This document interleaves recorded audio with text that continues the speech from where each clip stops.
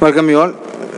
Now we are discussing two types of data. In the last class, we already discussed the primary data and secondary data.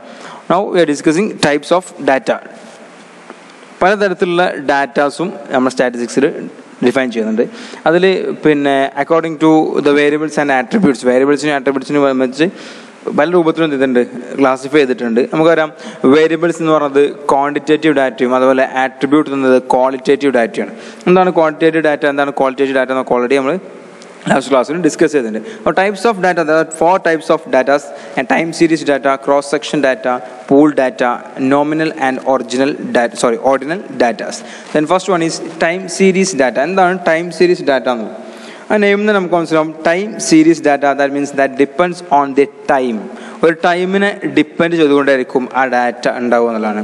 And it is a set of observation on the values that a variable takes at different times ആ ഒരു set of observation ഒരു particular ടൈമിനെ depend ചെയ്തുകൊണ്ടിരിക്കും ഉണ്ടാവുക. Then data may be collect at regular intervals of time ആ data എപ്പോഴും collect ചെയ്യുക ഒരു റെഗുലർ ഇന്റർവെൽ ഓഫ് ടൈം ആയിരിക്കും. കാരണം മീൻസ് ഒരു ഇയറിൽ അല്ലെങ്കിൽ ഡെയിലി ഒരു ദിവസം കളക്ട് ചെയ്ത് പിന്നെ പിറ്റേ ദിവസം കളക്ട് ചെയ്ത് പിന്നെ ദിവസം കളക്ട് ചെയ്ത് അങ്ങനെ ആയിരിക്കാം. അല്ലെങ്കിൽ വീക്ക്ലി ആയിരിക്കാം മന്ത്ലി ആയിരിക്കാം ക്വാർട്ടർലി ആവാം ഇയർലി അത് മീൻസ് ആനുവലി ആയിരിക്കാം. ഇങ്ങനെ ഒരു പർട്ടിക്കുലർ ടൈം ഇന്റർവെല്ലായിരിക്കും ആ ഡാറ്റ കളക്ട് ചെയ്തിട്ടുണ്ടാവുക. ആ ടൈം ഇന്റർവെലിനെ ഡിപ്പെൻഡ് ചെയ്തുകൊണ്ടിരിക്കുകയാണ് ടൈം സീരീസ് ഓഫ് ഡാറ്റ എന്ന് പറയുന്നത്. അതിനെ എപ്പോഴും ഡിനോട്ട് ചെയ്യുക. ടി എന്ന ലെറ്റർ വെച്ചിട്ടായിരിക്കും എപ്പോഴും ഡിനോട്ട് ചെയ്യാം എക്സാമ്പിൾസ് ആണ് census of population stock price etcetera stock price ഒരു പെർട്ടിക്കുലർ ടൈമിന് ഡിപ്പെൻഡ് ചെയ്തുകൊണ്ടിരിക്കും. അതുപോലെ സെൻസസ് നമുക്കറിയാം ഓരോ പത്ത് വർഷം പത്ത് വർഷം ആയിരിക്കും സെൻസസ് പോപ്പുലേഷൻ സെൻസസ് എടുക്കാറുള്ളത്. അതിനെ ഡിപ്പെൻഡ് ചെയ്യും. അതിന്റെ എക്സാമ്പിളാണ് ഇവിടെ കൊടുത്തിട്ടുള്ളത്. ഒന്ന് day and number of packets number of packets of milk sold അപ്പം Monday ninety Tuesday eighty eighty ഇതൊരു പർട്ടിക്കുലർ ടൈമാണ് അല്ലേ? ഡെയിലി ആണ്. ഡെയിലി ടൈമിനെ എടുത്തിട്ടുള്ളത്. എന്നാൽ ഇവിടെ എന്താണ്? പോപ്പുലേഷൻ ഒരു പത്ത് വർഷം പത്ത് വർഷം കൂടുമ്പോഴാണ് ഇവിടെ പോപ്പുലേഷൻ എടുക്കുന്നത്.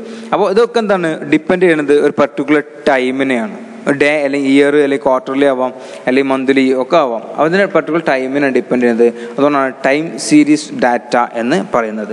Okay then next one is cross section data cross diet data ആകുമ്പോൾ ഒന്നിൽ കൂടുതൽ വേരിയബിൾസിനെ വൺ ഓർ മോർ വേരിയബിൾസിൽ എന്ത് ചെയ്യും? ഇത് ഡിപ്പെൻഡ് ചെയ്തുകൊണ്ടിരിക്കും. Cross section data are data on one or more variables collected at the same point in time okay? To, de- uh, to denote right small letter i. The observation subscript i used be used for the cross section ആണ് cross section expenditure ഒക്കെ check ചെയ്യുന്നത്. അപ്പോൾ അതിൽ നമ്മൾ collected by observing many subjects എന്നുള്ളതാണ് എന്റെ കരുത് collect ചെയ്യുന്ന data പല സബ്ജക്റ്റിനും എന്ത് ചെയ്യുന്നുണ്ട്? അത് ഡിപ്പെൻഡ് ചെയ്യുന്നുണ്ട്.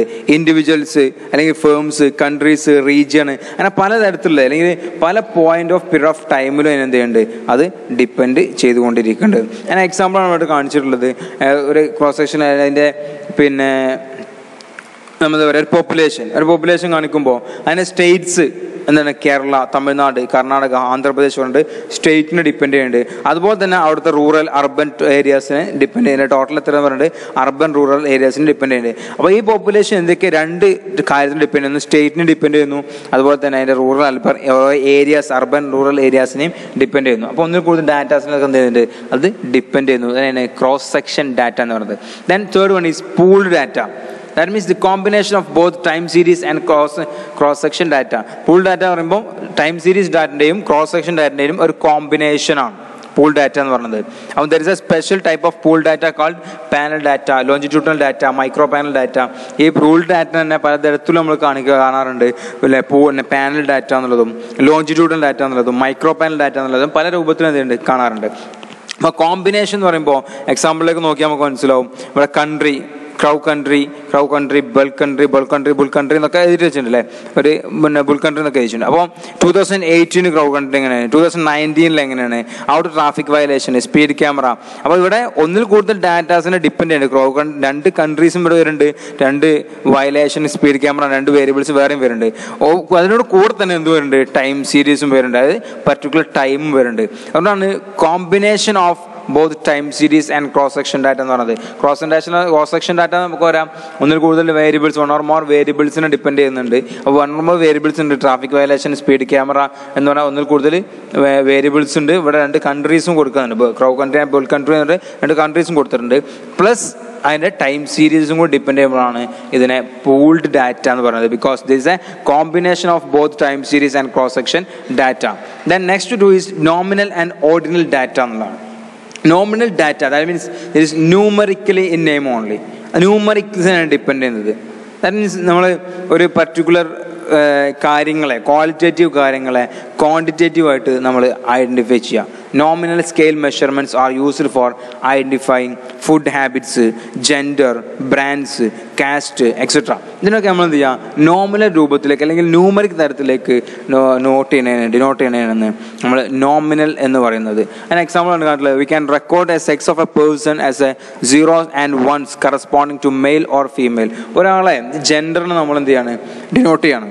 അതുകൊണ്ട് കഴിയുമ്പോൾ സാധാരണ നമ്മൾ മെയിൽ ഓർ ഫീമെയിൽ എന്ന് കൊടുക്കാറുണ്ട്.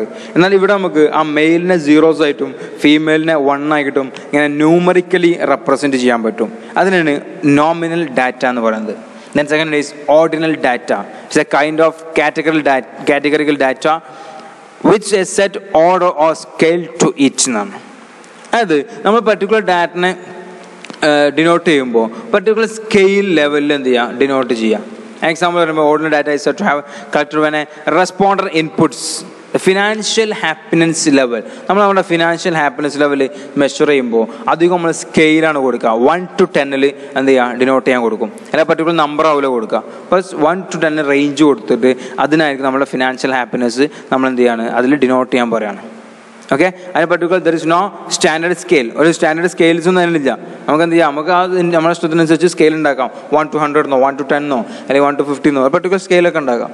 അതിന് വെച്ചിട്ട് എന്ത് ചെയ്യുക നമ്മുടെ ഡാറ്റാസ് നമ്മൾ ഡിനോട്ട് ചെയ്യുക. ഒരാളുടെ ഫിനാൻഷ്യൽ ഹാപ്പിനെസ് എത്രയാണ്? ഫൈവ് ആണോ ഫോർ ആണോ ത്രീ ആണോ? വൺ ടു ടെന്റെ ഇടയിലുള്ള നമ്മൾ എന്ത് ചെയ്യുക ഡാറ്റിനെ കൊടുക്കുക.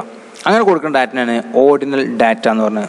These are the types of datas nominal or ordinal data and uh, nominal and ordinal data, time series data, uh, cross section data, and pooled data. Okay, thank you so much.